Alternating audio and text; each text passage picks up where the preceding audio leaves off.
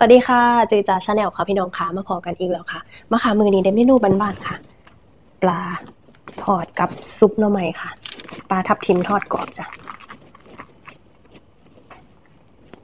น้ำจิ้ม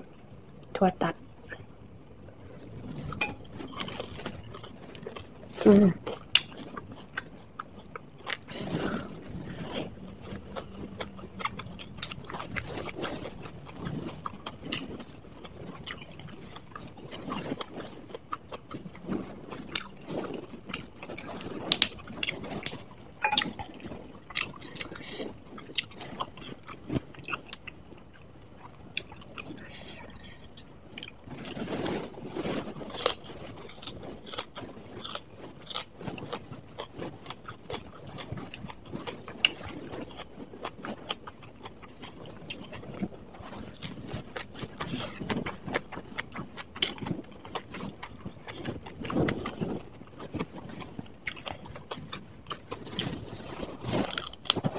อื